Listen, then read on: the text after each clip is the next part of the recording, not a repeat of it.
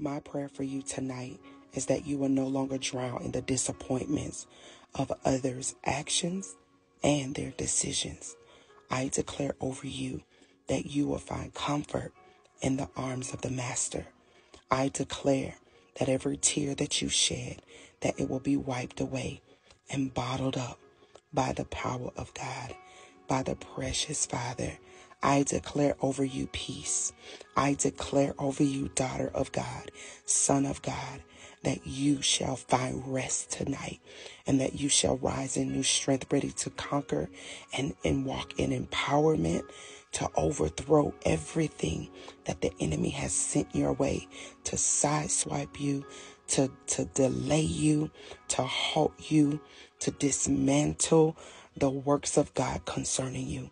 I declare God's hand is resting upon you, and no devil in hell will stop you. I declare that to be so.